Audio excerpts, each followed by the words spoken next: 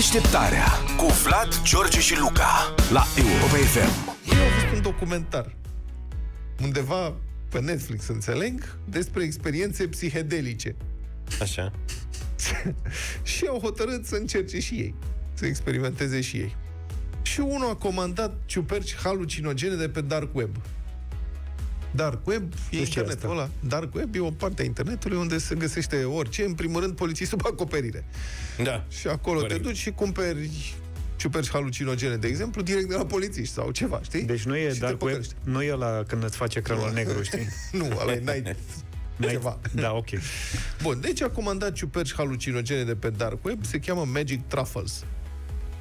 Trufe magice. Sună bine. Trei ciuperci, au luat trei ciuperci. Atât așa au permis ei, nu costau mult, mă rog, nu contează. Anchetatorii, evident, au supravegheat toată afacerea și s-au dus la poștă și au interceptat coletul poștal. Eu în momentul ăsta aici aș vrea, adică aici m-ar interesa să știu cum au făcut. S-au așezat la coadă, au greșit ghișeul și ei, cum facem noi toți. Mhm. Când stai la coadă jumate de oră și ajungi acolo, am și eu de ridicat un colet. Ce are colet? Cu ciuperci halucinogene. Nu la ghișeul ăsta trebuie să mergeți, nu la, aici e numai pentru mandate cu Da. prafuri. Nu e, mă, la eu, cred că, colega. aveau, Da, eu la- cred că aveau co- cod ceva La secret. colegă. Sau Da. când au ajuns în față, făceau ca matriciala din spate. Asta, da. Aveți? Ia dați-mi să văd. A, nu, doar v-a lăsat uh, poștașul mandatul și deocamdată coletul încă e în camera de sortare. Nu știm să vedem. Păi și cine sortează? Unul râde într-una. Nu știm ce se întâmplă acolo. Bun, deci asta a fost. Polițiștii s-au dus, evident, au înlocuit coletul respectiv și au deschis coletul și au înlocuit substanțele din cele trei pliculețe cu câte o ciupercă șampinion. Deci cum s-au dus ei, mă, la magazin și au cumpărat, trei, ciu- au cumpărat un pachetel de ciuperci. Sau măcar să pună pleutorus. E pleurotus. Pleurotus.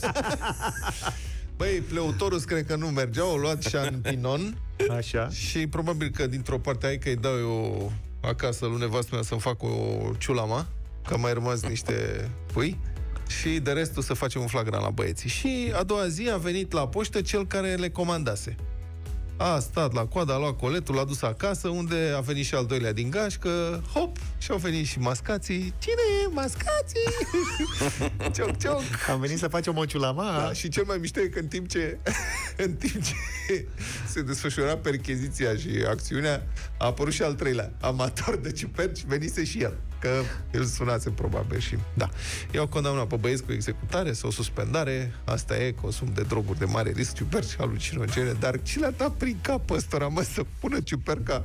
Și acum trebuie să ne punem și în pielea bietului comand- comanditar, cred că se cheamă, nu? Ăla care a comandat ciupercile halucinogene. A deschis coletul și ce a găsit înăuntru? Mă, da, asta parcă aveam și eu un frigider de-astea. Știi? De S-a asta ce gândit. s-au enervat odată când le-a venit coletul și i-a mai luat și poliția. Nenorociții Adică- ăștia, mă, de la VAM au furat ciupercile noastre. Nu mai bine eu cu castraveții mei? Deșteptarea cu Vlad, George și Luca la Europa FM.